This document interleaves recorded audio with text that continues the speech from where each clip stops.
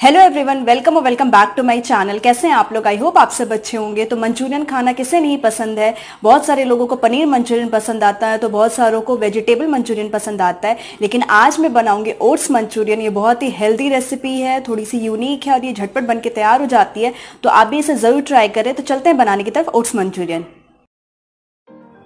Oats Manchurian बनाने के लिए यहाँ पे मैंने हाफ़ कप ओट्स का पाउडर लिया हुआ है।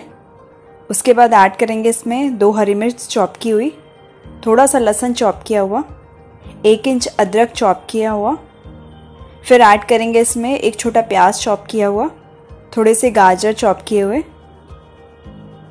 फिर ऐड करेंगे शिमला मिर्च चॉप किया हुआ, और लास्ट में ऐड करेंगे कैबेज, यानी पत्ता गोभी चॉप किया हुआ। तो सारी वेजीज मैंने ऐड कर दी है। फिर मैं इसमें थोड़ा सा चिली फ्लेक्स ऐड कर रही हूँ। फिर हम इसमें वन फोर टी नमक ऐड कर लेंगे। नमक डालने के बाद फिर ऐड करेंगे इसमें काले मिर्च का पाउडर तो वन टीस्पून ऐड कर दिया है मैंने इसको भी। तो आपको जो भी वेजीज यूज़ करनी है, आप यूज़ कर सकते हैं। उसके बाद इन सभी को अच्छे से हम मिक्स कर लेंगे। मिक्स करने के बाद अब हम इसका एक डो लगाएँगे। तो यहाँ पे मैंने पानी लिया हुआ है। और थोड़ा थोड़ा पानी ऐड करके हम इसका डो लगा लेंगे। तो जैसा मैंने आपको बोला कि मैंने नॉर्मल ओट्स को ग्राइंड कर लिया था और उसका पाउडर बना लिया था, आप चाहो तो पहले ओट्स को हल्का सा रोस्ट भी कर सकते हो, उसके बाद उसका पाउडर यूज़ कर सकते हो, लेकिन मैंने यहाँ पे डायरेक्ट ही उसका पाउडर बना लिया था। तो यहाँ पे हम इसका डो लगा रहे हैं। तो बहुत थोड़ा थोड़ा पानी ही यूज़ करें। तो यहाँ पे आप देख सकते हैं, हमारा जो डो है वो लग गया है। अब मैं एक मंचूरियन बॉल बना के देख रही हूँ। अगर ये आसानी से इस तरीके से बन जाएगा तो ठीक है। अगर आपको लगे कि बहुत ही ज़्यादा ये गीला हो गया तो थोड़ा सा ओट्स और आप ऐड कर सकते हैं। तो एकदम से परफेक्ट है। तो अब हम हैंड वॉश कर लेते हैं। उसके बाद मैंने यहाँ पे एक प्लेट लिया हुआ है। और अब हम मंचूरियन बॉल्स बन, बॉल्स बनाएँगे। और इस तरीके से थोड़ा सा हम डो ले लेंगे और हाथों से इस तरीके से हम इसका बॉल्स बना लेंगे। तो जैसा नॉर्मल मंचूरियन बॉल्स बनाते हैं, उसी तरीके से हम बनाएँगे। तो यहाँ पे मैंने पहला बना लिया है। तो अब हम सेम प्रोसेस को फॉलो करके सारे बना लेंगे।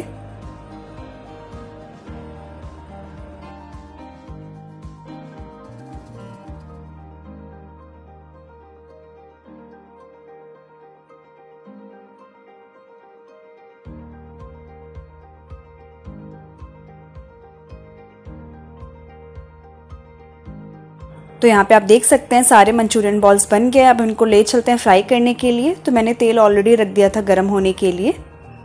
तो तेल हमारा गर्म हो गया है। बहुत ज़्यादा गर्म नहीं होना चाहिए। तो जब ये गर्म हो जाएगा तो हम एक एक करके इसमें मंचूरियन बॉल्स ऐड कर देंगे। और फ्लेम को मैंने यहाँ पे मीडियम कर दिया है।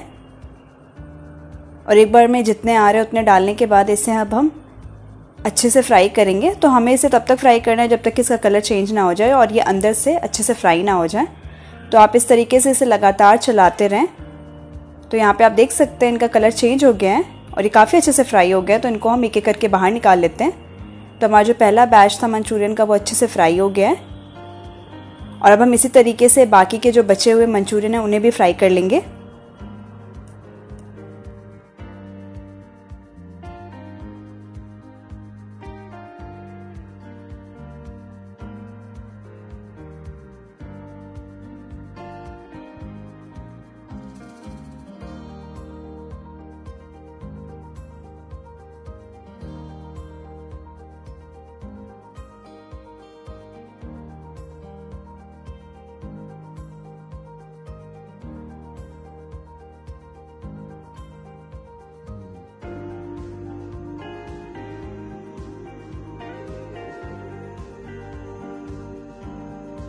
तो यहाँ पे आप देख सकते हैं, सारे मंचूरियन बॉल्स मैंने काफ़ी अच्छे से फ्राई कर लिए हैं।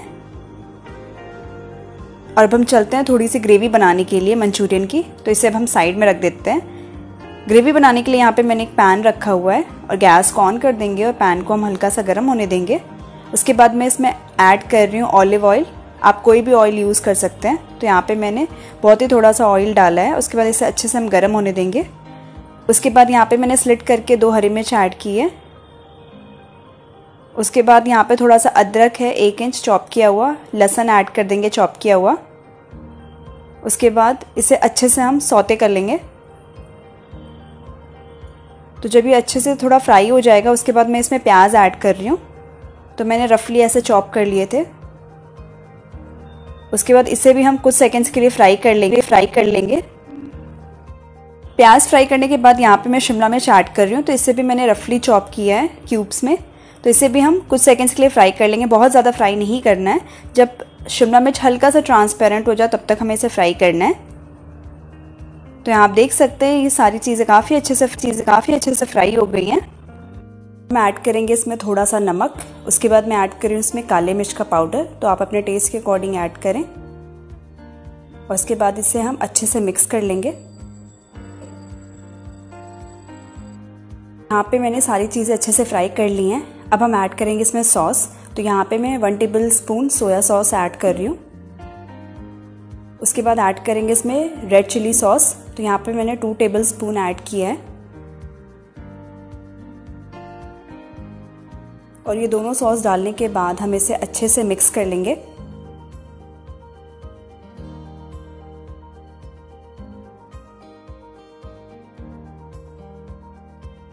करने के बाद अब हम ऐड करेंगे इसमें टोमेटो केचप। तो यहाँ पे मैं टू टेबल स्पून ऐड कर रही हूँ।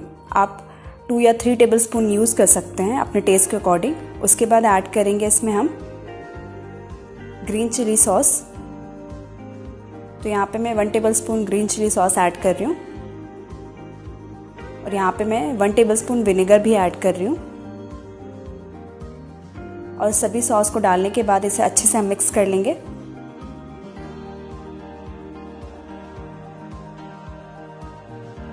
मिक्स करने के बाद हम सारे सॉस को कुछ सेकंड्स के लिए सिर्फ़ पकाएँगे। बहुत ज़्यादा इसे नहीं पकाना होता है। तो यहाँ पे आप देख सकते हैं, ये भी थिक लग रहा है मुझे। तो मैं इसमें थोड़ा सा पानी ऐड करूँगी। तो यहाँ पे मैं अपने हिसाब से थोड़ा सा पानी ऐड कर रही हूँ। अगर आपको ड्राई चाहिए तो आप इसमें मंचूरियन बॉल्स ऐड कर सकते हैं। और अगर आपको ज़्यादा ग्रेवी वाली चाहिए तो आप इसमें थोड़ा सा पानी और ऐड कर सकते हैं। तो मैंने थोड़ा सा पानी ऐड करके इसे अच्छे से मिक्स कर लिया है। तो हमारा जो ये ग्रेवी है थिक हो जाए उसके लिए मैं यहाँ पे कॉर्नफ्लावर जो है उसे पानी में मिक्स करके ऐड कर रही हूँ। तो यहाँ पे मैंने वन टेबल स्पून कॉर्नफ्लावर को पानी में मिक्स करके ऐड कर दिया था। तो इससे जो ग्रेवी होती है वो हमारी थिक हो जाती है। तो इसे हम अच्छे से हम मिक्स कर लेंगे। और वापस से हम इसे कुछ सेकंड्स के लिए पकाएँगे, जिससे क्या हो कि कॉर्नफ्लावर का जो टेस्ट है वो चला जाए, और वो पक जाए थोड़ी देर के लिए। तो यहाँ पे आप देख सकते हैं ग्रेवी हमारी परफेक्ट है। तो इस स्टेज पे हम एक बार इसे मिक्स कर लेते हैं और उसके बाद हम इसमें सारे मंचूरियन बॉल्स ऐड कर लेंगे। और उसके बाद इसे अच्छे से हम मिक्स कर लेंगे। मंचूरियन बॉल्स डाल करके हम इसे पाँच मिनट और पकाएँगे, जिससे क्या हो कि जो मंचूरियन बॉल्स है उसमें जो हमने ग्रेवी बनाई, वो अच्छे से अंदर चली जाए। तो पाँच मिनट हो गया है, मैं गैस को ऑफ़ कर रही हूँ और हमारा जो ओट्स मंचूरियन है वो रेडी हो गया है। तो आप देख सकते हैं।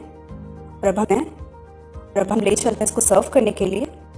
मैंने एक सर्विंग बोल में निकाला हुआ है। आप देख सकते हैं। तो देखा आपने ओट्स मंचूरियन बनाना कितना आसान है और ये बहुत ही हेल्दी और बहुत ही ईजी रेसिपी है। तो आप भी इसे बना सकते हैं। तो आई होप आज आपको मेरा वीडियो पसंद आया then please like share comment और subscribe my channel happy cooking